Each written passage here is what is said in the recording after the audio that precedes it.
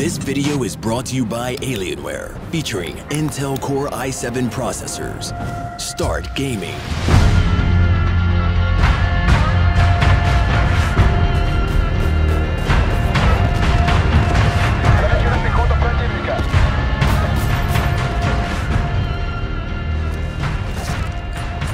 Today, Through the Ages takes us to a weapon that's so heavily integrated into the Battlefield series, it's featured in almost every single title. So it's a fan favourite for sure, and a weapon that likely sits even in non-gamers' minds as one of the most iconic ever produced. Today, it's time to take a closer look at the M1911. Gameplay today is coming via my brand new Alienware X51 gaming PC, which Alienware sponsored to me. I'm working on the review at the moment, I've done about half of the recording that I need to do, and that'll be out soon, probably sometime next week. But if you want to check it out in the meantime, there's a link to their product page in the description. So, back to it then. The M1911 has been present in the following Battlefield titles. 1942, Vietnam, 1943, Bad Company 2, and a separate appearance in the Vietnam expansion, Battlefield Play4Free, Battlefield 3, 4, and Battlefield Hardline. In 1942, the weapon featured as the standard sidearm for the Allied forces, and this set the tone for many future titles in the franchise. And of course, we start our coverage with Bad Company 2, where the weapon featured in the base game and the Vietnam expansion. In the base game, the weapon came unlocked on startup if you'd purchased the limited edition, or if you bought the normal edition, it was unlocked at rank 3.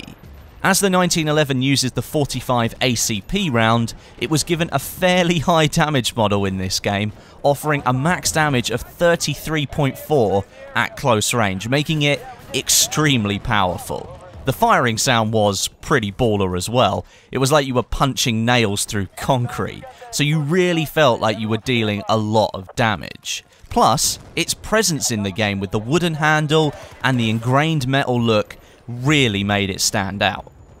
Its main competitor was the Rex revolver, which offered similar damage. It was slightly higher than the 1911, but the 1911 outperforms it everywhere else, which makes it a much more versatile sidearm to be holding onto.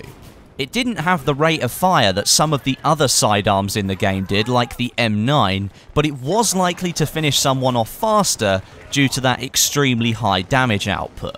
In the Vietnam expansion, the weapon performed almost identically to the base game model, but it had a different sound assigned to it, which was supposedly recorded to fit the Vietnam setting. As far as I can tell, using the base game sound would have been just fine. Moving on to Battlefield 3 now, and the 1911 became the veteran weapon for this game, although for me it was an altogether more disappointing experience than it was in Bad Company 2. It did improve in its appeal towards the end of the game's life though, when the assignment called All About Precision unlocked the S-TAC variant, which was once only a developer version of the weapon featuring both the silencer and the tac light attached at the same time. Previously, players could only have one of those attachments. The 1911 here retained its high damage model of 34 max damage at close range and a headshot multiplier capable of downing a player in just two shots, with a headshot dealing 68 damage up close and the second shot only needing to hit the body. Its rate of fire was increased to 333 from 260 rounds a minute in Bad Company 2, which matched well with the extra bullet in the magazine, going from 7 to 8. This change was made because the weapon model in Bad Company 2, the 1911 there, was the original A1 variant, and that changed moving to Battlefield 3. The developers went for the Marine Force M45 variant for this game. For me, that change alone was enough to reduce its presence. The M1911 no longer felt as special as it did in previous titles, not using the classic look. But one unique feature of the 1911 in BF3, perhaps to go with the veteran tagline, was it was the only magazine-fed pistol in the game that featured its own reload animation. All the others shared a different one. Switching over to Battlefield 4 now, and again we see a very similar setup to the Battlefield 3 edition, although it has a direct challenger in this game in the form of the Compact 45. While the 45 has a higher amount of bullets per magazine and a better rate of fire, it is far less accurate than a 1911, making it much more of a precision weapon in BF4.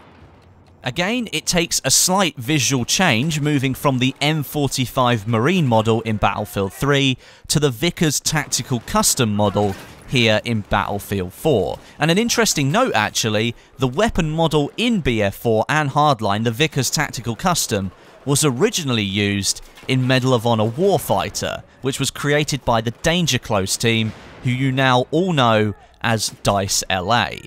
Damage output took an increase from 34 to 36.6 max damage at close range here, again making sure the weapon sat firmly up the pecking order, but it did suffer from a small nerf to the rate of fire, which went down to 310. But, and as is the case with so many other weapons moving from older titles to Battlefield 4, the weapon feels very diluted. There are so many other options that players can choose from that what was once a very coveted weapon in the series now just feels like part of the furniture. It doesn't feel special anymore, and considering it was held in such high stead in previous games, it was the original sidearm that people got to use in 1942 for the Allies. I would have thought more would have been done to make this weapon feel special in Battlefield 4.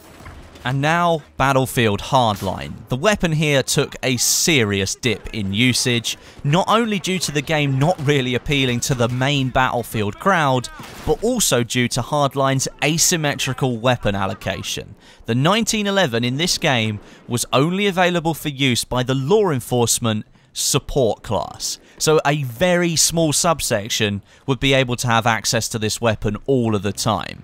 And that just cements the idea in that it doesn't feel like this weapon is very special anymore. It's been a steady decline for the M1911 then. It's clearly an iconic weapon for sure, but one that's been suppressed and blended into the standard weapon arsenal that's available in every game. For me, it should come with a fanfare, it's a weapon from the original titles, and I think it's one that deserves to be highlighted wherever it's featured. Thanks very much for watching, I hope you enjoyed it. Thank you to Alienware for sponsoring the video with their X51 PC. As mentioned, I'll be doing a review soon, and you can learn more about the PC by clicking the link in the description right now. Make sure you leave some comments about what weapon should be next on Through the Ages, and while you're down there, drop me a like as well. But until next time, my name is Westie, and I'll catch you guys in the next video.